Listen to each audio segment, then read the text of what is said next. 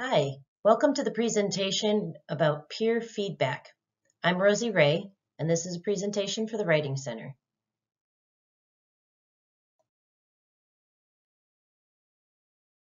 People often ask why we make or put an emphasis on peer feedback, but I have to point out that it is important to our ACT values. Our growth mindset includes the ideas that failures are temporary, mistakes are a source of learning, and peer mistakes are an opportunity to show grace so we can improve ourselves and help others on their journey as well, as long as we do it tactfully and correctly. It also speaks to our responsibility. We can proactively work to improve ourself and our academics. We can improve our relationships with our peers and our colleagues, and we can contribute to the Nightingale community. We're going to use discussion replies, although these same principles do apply if somebody asks you to maybe put a second pair of eyes on their paper or work together in a study group. The same principles apply. It's just easiest for me to do this presentation using a discussion. So let's pretend that we're in a discussion in Canvas. Our colleague posted, cats are better than dogs. They are better because I like them. Insert fact here. At least a thousand dogs bite people all of the time. Our reading said so. Now this was posted by James. What we need to do is break it down. What is good about the post? What could be improved? Did the learner include materials from the week? Did the learner give credit where due? Who wrote the post? And how can I drive the conversation forward? Now, it's our knee jerk reaction oftentimes to read this post and immediately start looking at all of the things that my peer did incorrectly. But I wouldn't want somebody to do that to me, would I? No, there is good to be found in every post, and there is improvement to be found in every post. So when you're looking through a discussion, just an overall tip, read more than the first three. Scroll down. Scan.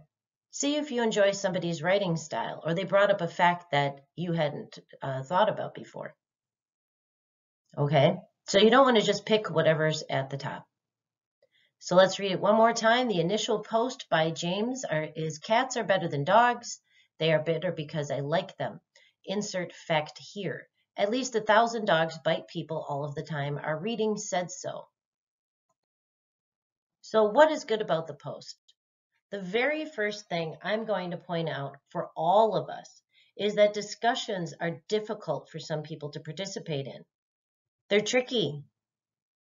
There may be a fear of exposure, a fear of looking uh, ridiculous, a fear of writing badly. There's lots of anxiety that can come from participating in a discussion post. So I always, always am appreciative of the fact that somebody participated at all. And how could you write a reply if nobody ever wrote a primary post, right? So second, they did make an assertion, cats are better than dogs. That's pretty awesome. And they tried to include some data, thousand dogs biting people all of the time. So those things are good. I also would point out that while there really isn't a citation, our reading said so does indicate that there's an attempt to give credit. So those are all good things about the poem. What could be improved? Well, why are cats better than dogs? Yes, they're better because James likes them. But you can see where potentially James cut and paste. I think that the intention was to insert a fact and they just forgot to, to take out the note for themselves or maybe from their template. So that could be improved. Um, where did they get the thousand dogs bite people all the time? And of course, we're going to talk about the fact this is pretty brief, right? We'd like to, to encourage our colleague here to write more. Going back to my first point, some people have anxiety about this, so we'd like to encourage them. Did the learner include materials from the week? Yes, I'd say so. They're trying. It's our reading said so, and there's a thousand dogs bite. So they did include uh, some materials from the week. We can encourage some growth, but they did do it. If they didn't include any materials from the week or any attempt, that may be something else we'd like to address. Did the learner give credit where due? Well, unfortunately, no. You can see the attempt, but it, it didn't happen. Who wrote the post? Now, the reason why I put this down toward the bottom is I have a tendency to go into discussions when I'm a learner and try not to notice who wrote what. Now, you will get used to each other's writing styles. You'll hear each other's voice through their writing, but it's good to try to write back, to reply to people that maybe aren't your friends yet or you've never met yet. It does help us um, maintain a variety in our education you know, if I and my best friend and uh, maybe I have somebody that's a study buddy and we all three just keep posting back and forth to each other, that's fun, but it shouldn't be all the time. We want to write back to other people. So I tend to put this down toward the bottom of my analysis because I don't look. I don't look till I've gotten this far. And then how can I drive the conversation forward? Not just with James, but with the class. So here's a suggestion. As long as it hits all of the points, this reply should sound like you. So this is one that I wrote, reminding us the initial post. Cats are better than dogs. They are better because I like them. Insert fact here, at least a thousand dogs bite people all of the time. Our reading said so. So in my reply, I addressed James. Hi, James. I appreciate your participation in our discussion this week. I enjoy reading my colleagues' posts. I have to agree with your assertion that cats are better than dogs. I have three cats in my family. I'm also glad that you like them. Can you please elaborate on why you like them? Our reading this week went over some pretty astounding facts about cats that may help you make your argument.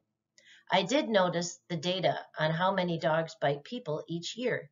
I'd like to suggest that you include a specific citation for this data. It's always important to give credit where credit is due.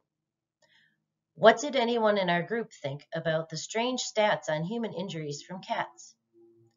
Now, is this a perfect reply? No. Is it the only possible reply? Absolutely not. To make it clear, as long as you hit the points, you could say anything you want. Right? What you don't want to do, though, is be critical, harsh, or brief. So I'll give you an example. I started positive because it's true. I do appreciate James's participation in the discussion in this week, and I do enjoy reading my colleagues' posts. I also happen to agree that cats are better than dogs. No, maybe I don't. But I could simply say, you know, I don't agree that cats are better than dogs, or I like dogs better than cats. But I really enjoyed your the point that you made about a thousand, thousand dogs biting people. Okay? But in this case, I have three cats in my family. I'm also glad that you like them. Can you please elaborate on why you like them? This is a very polite way of asking them to expand their post. It points out the fact that this is brief and is missing information. I can see that you like cats are better than dogs, but I don't know why. So instead of saying, hey, you forgot your why, this is a nicer way of accomplishing the same thing. Our reading this week went over some pretty astounding facts about cats that may help you make your argument. Again, please expand your post and please refer back to our readings this week. I did notice the data on how many dogs bite people each year. That's a very positive, positive, affirming statement. I'd like to suggest that you include specific citation for this data.